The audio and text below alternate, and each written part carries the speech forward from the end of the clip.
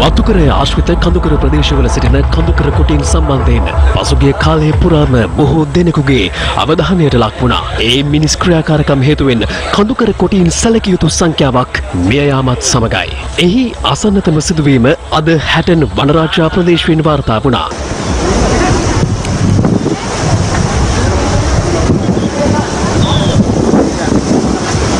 මේ කඳුකර කොටියා මෙලෙස මන්දකට හසුවී තිබුණේ ඊය රාත්‍රියේදී හැටන් වනරාජා වතුයායට අයත් සමහිල් කොටසේ සැරිසරන වල්ලුරන් දඩයම් කිරීම සඳහා අටවා තිබූ මන්දකට මෙම කොටියා හසුවී තිබුණා. මන්දින් පේනීම සඳහා කොටියා මන්දත් සමග අසල ගසකට නැග තිබූ අතර ප්‍රදේශවාසින් විසින් කොටියා දැක තිබුණේ අද උදැස්සනයි.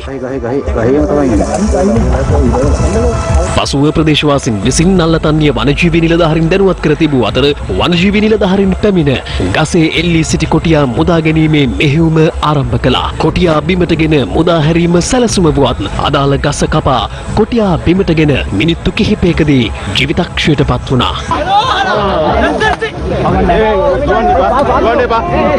මෙලෙස මියගොස් ඇත්තේ වයස අවුරුදු පහක පමණ හොඳින් වැඩුණු පිරිමි සතෙක්. මන්දින් පේරීම සඳහා කොටියා විශාල උත්සාහයක් දරා තිබූ අතර අදාළ කේබලයට කොටියාගේ බඳ ප්‍රදේශයට දැඩි ලෙස තුවාල සිදු වී තිබුණා.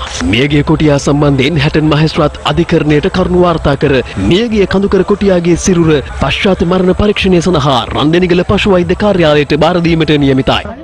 සත්වයා බේරා ගැනීම සඳහා වනජීවී නිලධහරින් කටයුතු කළේ ජනප්‍රවාදයන මහදන මුත්තාගේ කතාපෝතක කතාංගයක් ලෙසින්. එළුවාගේ හිසහිසිරු මුට්ටිය බේරා ගැනීමට එළුවාගේ ගෙල කැපුවක් මෙන් වනජීවී නිලධහරින් තීරණය කළේ ගසේ සිරවේ සිටි කොටියා ගස කපා බේරාගැනීමටයි.